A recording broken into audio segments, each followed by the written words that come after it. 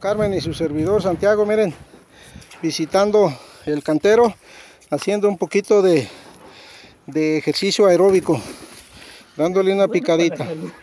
Es bueno para la salud visitar el cantero. Miren, ahí va, una flojadita. Le levantamos el ala del lule de, de aquí del lado de la entrada. Ya tiene una ceja como de 3 pulgadas. Por aquí ya no se nos tira el agua, Toño. Mira, Toño ya no se nos tira el agua por aquí. Te vamos a encargar que en la próxima vuelta le hagan el mismo jale a este lado, al lado, al lado del tinaco. Recoger toda la orilla y levantar el hule y recorrer los ladrillos como, como lo del ancho del ladrillo.